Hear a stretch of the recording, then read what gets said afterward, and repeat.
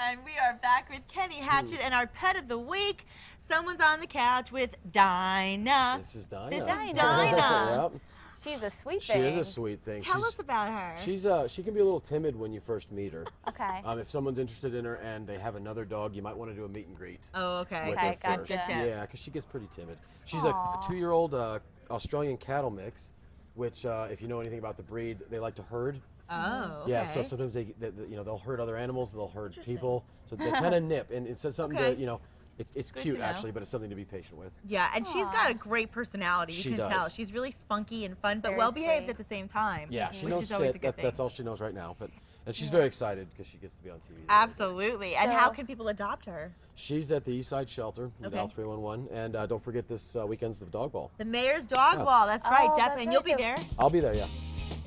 We're excited. Yeah, I- I'm excited too, yeah.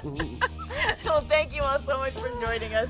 And if there's anything you need to know about today or any of our shows, log on to our website at kasa.com. Enjoy a beautiful day today. Have a great Friday, everybody, and a fantastic weekend. We'll see you Monday. See you Monday.